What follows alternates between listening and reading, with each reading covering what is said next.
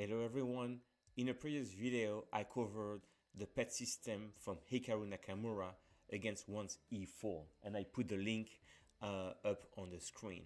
But now, do you ever wonder how does he do against one's d4 if he wants to win quickly against a weaker opponent? I got you covered this time as well. So now he plays many things, but probably his favorite system is to play g6 and after knight f3, bishop g7. And he's ready with the bishop, he's got a fianchetto, and he's ready to put some pressure on the center like that.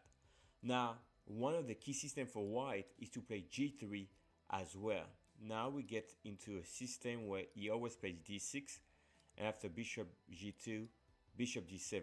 So white castles, and all of a sudden, he play queen c8, and he wants to exchange the bishop over here, play h5, h4, and attack the king over here.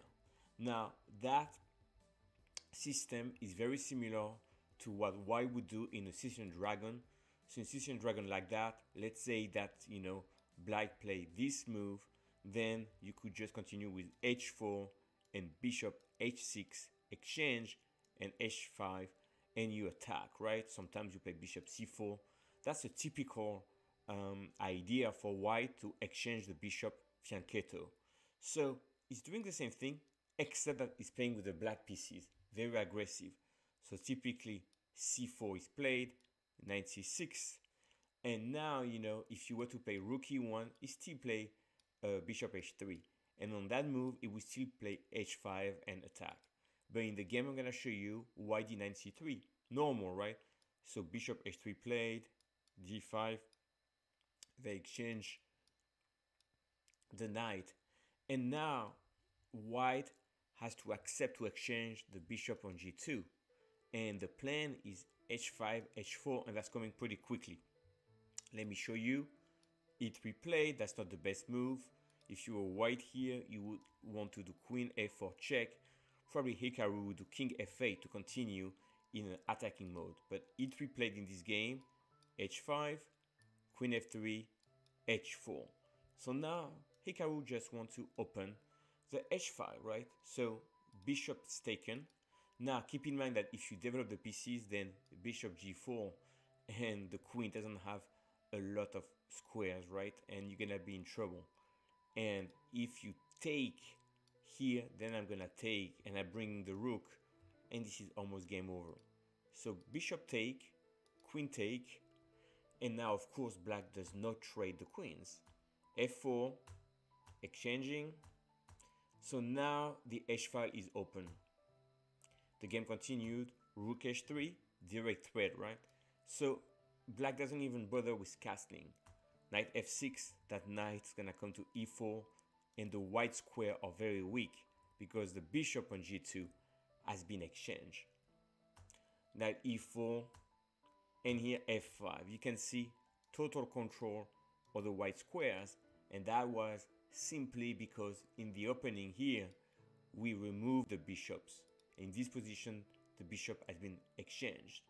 So here, complete lockdown, the game continue, finally castle, and here, black is winning and white resign. So you have a threat of uh, rook h1, the only move is queen g2, and then what do you do here? Simply queen h5, and you have one, two, and three pieces on the h file, and rook h1 is the threat. Now the knight is controlling f2, the king is stuck. It's absolute game over, 23 moves. So again, a textbook attack all started in the beginning where Hikaru went well, bishop h3. Let me show you another game with the same theme.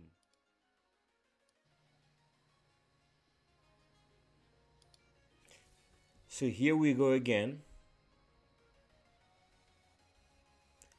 Once again, trying to exchange the bishops, weakening the white squares, and launching the attack with the h5.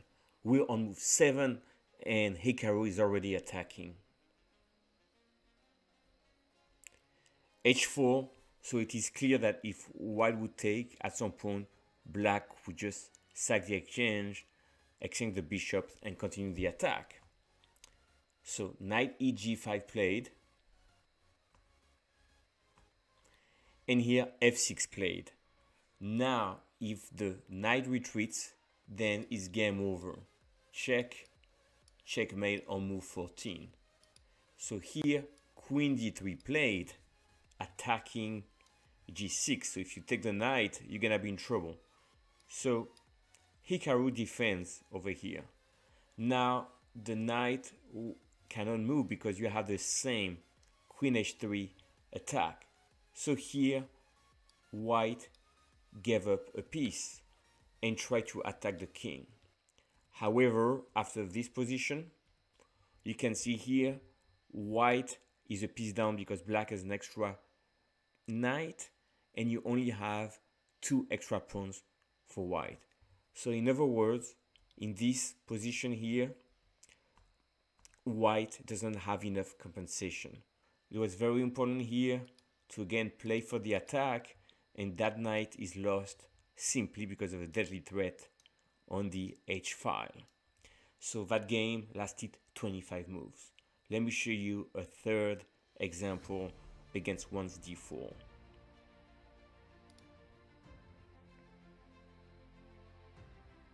So now what happened if instead of playing g3 simply black is facing c4 d4 e4 so no g3 bishop g2 white controls the center.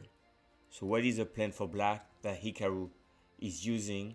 Well he's gonna have a combination of d6 knight c6 and e5 so typically he can start with knight c6 that's pretty prerogative but if you come here then I'm gonna come on d4 and if you try to challenge me I'm gonna play c5 but in this game why did bishop e3 d6 knight c3 why knight c3 because if you try d5 I'm gonna eat on b2 and here e5 so bishop g7 controlling e5 attacking d4 putting a lot of pressure on the center. Knight ge2 played to cover the d4 and here f5 so black did not develop on knight f6 and doing f5 first. very direct very aggressive so here white had to play d5 and hikaru in other games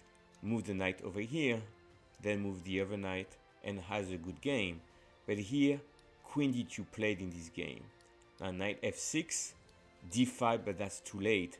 Knight b4. The knight jumps are actually insane. Long castle, check. Discovery check. And Hikaru on move 12 is up a rook.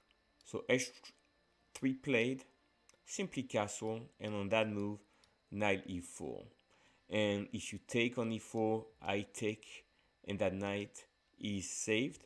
And if you do queen e1 simply knight here. And you have a winning position for black no matter what white tries here. Um, so winning in 15 moves. So again we can see a lot of different ideas with the bishop on g7 I hope you enjoyed this video. Thank you for watching and please subscribe if you would like to see more content.